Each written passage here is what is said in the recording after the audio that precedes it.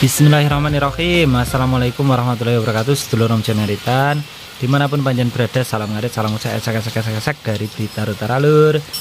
Dulur Sore ini kita Kembali lagi ke kandangnya Pak Fauzi nih Menjenguk adiknya Baby Samson Yang sudah kelihatan makin cantik ini Pak ya. Gek Suasananya nih masih Lur. Gerimis di sini banyak pohon-pohon hijauan pakannya sudah ready terus sama Pak Fauzi gerimis-gerimis dibuatkan kopi nih lho Wes. marai betah lho ini nah jadi sore ini kita mau menjenguk ya lur. Ini ada namanya sinten Pak Fauzi nih namanya Mimin. Mimin. Nah ini si Mimin lur. Ini calon penerus induknya untuk mengeluarkan pedetan-pedetan biasanya kalau petani itu kalau hasil peranakan betina itu malah nggak dijual lur. Eh, buat penerus induknya nanti. Karena entah kapan waktunya sapi betina itu juga bakalan diafkir toh lur kalau sudah tidak produktif. Jadi peranakannya ini nanti buat penerusnya lur. Dan ini di sini juga ada koleksi baru ternyata lur. Niki darah Pak Fauzi nggih? Bunting. Berapa bulan Pak tujuh tujuh bulanan gitu tujuh Nah, ini lur. Ini nanti kita coba lihat dari belakang. Tua belur sapinya. Kalau kita videonya dari sini ya kelihatan makin pendek karena atasnya ini yang depan sini lebih tinggi. Udah bunting lur, kira-kira berarti sebelum tahun baru kira-kira Pak ya? Atau setelah tahun baru ini Ini satu bulan satu bulan dengan satu bulan. Berarti sekitar 8 7 8 ini sudah bulan 10 hi- besok. sepuluh besok 10 besok. Terus 11 12 12. Perkiraan berarti ya tahun baru Pak nggih.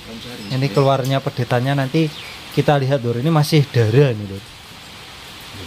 Ini darah. Nih, kita coba masuk ya Lur. Lihat-lihat buat motivasi sedulur semua ini. Ternyata kemarin memang eh, si Baby Samson dijual ya Pak. Eh, siapa Pak yang adiknya Pak? Adiknya Baby Samson Ambu Sambu, Sambu itu dijual eh ditukar sama itu darah calon hidukan.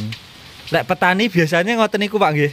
Kalau punya pedetan jantan dijual lur, tapi lek punya betina seperti ini biasanya ditanya, "Wah, jangan karena suatu saat buat ganti indukannya." Ini si Mimin lur. Warnanya jibres nggih, Pak.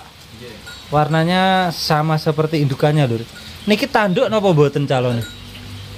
Ada tanduknya atau brujul lur? kosong Oh kelihatannya dugul. Ini nanti yang membedakan sama induknya, induknya tanduk. Nah biasanya lur, sapi di sini itu yang terutama induknya ini anaknya usia selapan dino lur. Itu belum eh, sebulan lebih sedikit sudah hibi lagi. Kalau yang sekarang gimana pak ini? Ini pedetannya umur berapa pak yang mimin? lima bulan ya Lima bulan. Induknya sudah bunting lagi. penting Sudah dicek ya, Pak?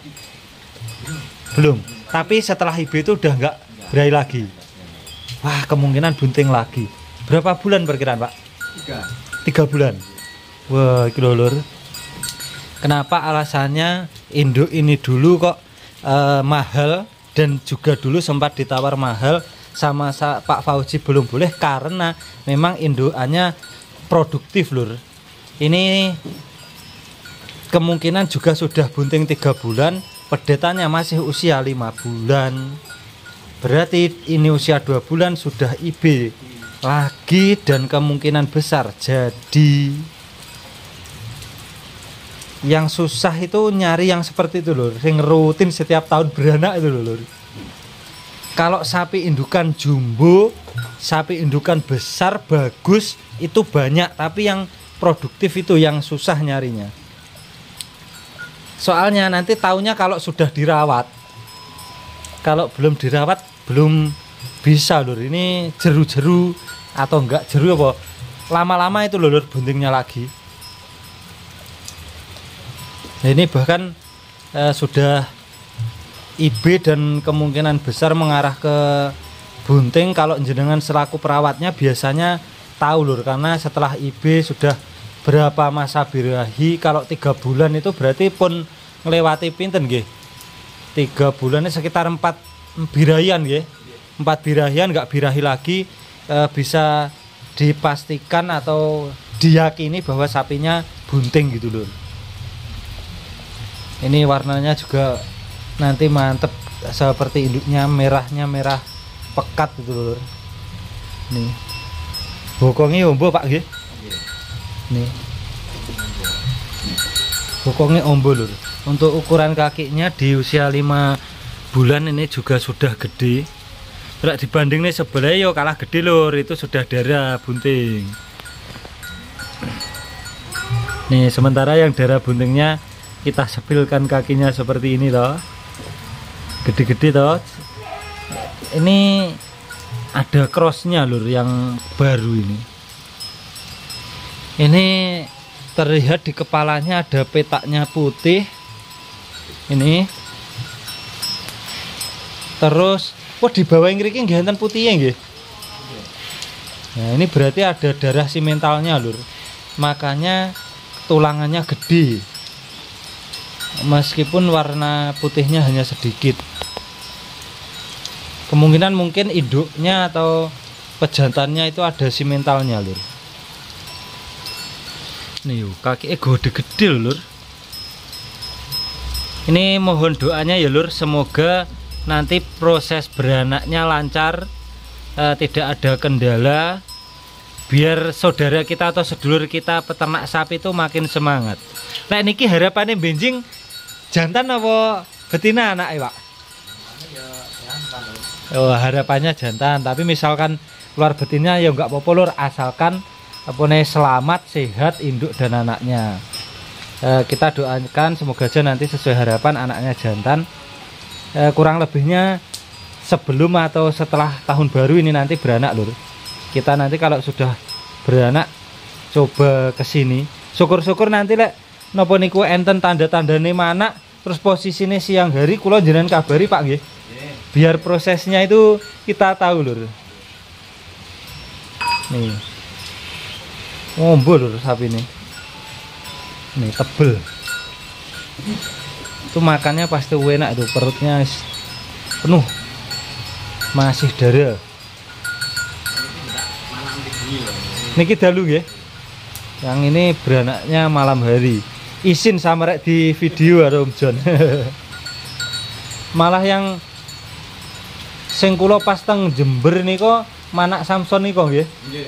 Pos semadosan manaknya awan tibake atau saya pas di Jember waktu itu lur.